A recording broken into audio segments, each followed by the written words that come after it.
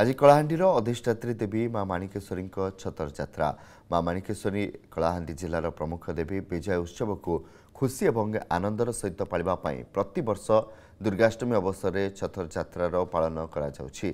ଆଶ୍ୱିନ ମାସ କୃଷ୍ଣପକ୍ଷ ମୂଳାଷ୍ଟମୀ ଦିନ ଭବାନୀପାଟଣା ରାଜପ୍ରସାଦରେ ଥିବା ମାଣିକେଶ୍ୱରୀଙ୍କ ପୀଠରେ ମୁଣ୍ଡବସାଠାରୁ ଆରମ୍ଭ କରି ମହାଷ୍ଟମୀ ପର୍ଯ୍ୟନ୍ତ ସ୍ୱତନ୍ତ୍ର ପୂଜାର୍ଚ୍ଚନା କରାଯାଇଥାଏ। ମାଙ୍କ ଛତରକୁ ଭବାନୀପାଟଣା ସହରର ପଶ୍ଚିମ ଉପକଣ୍ଠରେ ଥିବା ଜେନା ଖାଲକୁ ନିଆଯାଏ। ଜେନା ଖାଲରେ ଗୁପ୍ତ ପୂଜା ପରେ ମହାନବମୀର ପ୍ରାତଃକାଳରେ ମାଙ୍କର ବିଜୟ ପ୍ରତିମା ଛତର ମନ୍ଦିର ଅଭିମୁଖେ ପ୍ରତ୍ୟାବର୍ତ୍ତନ କରିବାର ବିଧି ରହିଛି।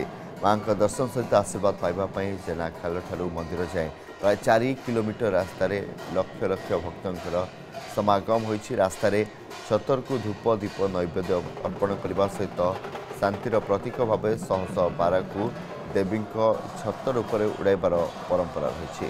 ଭକ୍ତଙ୍କ ଭିଡ଼କୁ ଦୃଷ୍ଟିରେ ରଖି ଜିଲ୍ଲା ପୋଲିସ ଏବଂ ପ୍ରଶାସନ ପକ୍ଷରୁ ବ୍ୟାପକ ବ୍ୟବସ୍ଥା କରାଯାଇଛି। ସୁରକ୍ଷା ବ୍ୟବସ୍ଥା ପାଇଁ କୋଡ଼ିଏ ପ୍ଲାଟୁନ୍ ପୋଲିସ ମୁତୟନ ହୋଇଛନ୍ତି। ଟ୍ରାଫିକ୍ ନିୟନ୍ତ୍ରଣ ଏବଂ ସ୍ୱତନ୍ତ୍ର ପାର୍କିଂ ବ୍ୟବସ୍ଥା ମଧ୍ୟ କରାଯାଇଛି। ଯଦି ଆପଣଙ୍କୁ ଆମ ଭିଡ଼ିଓଟି ଭଲ ଲାଗିଲା ତେବେ ଆମ ଚ୍ୟାନେଲକୁ ଲାଇକ୍ ସେୟାର ଆଉ ସବସ୍କ୍ରାଇବ୍ କରିବାକୁ ଜମା ବି ଭୁଲନ୍ତୁ ନାହିଁ।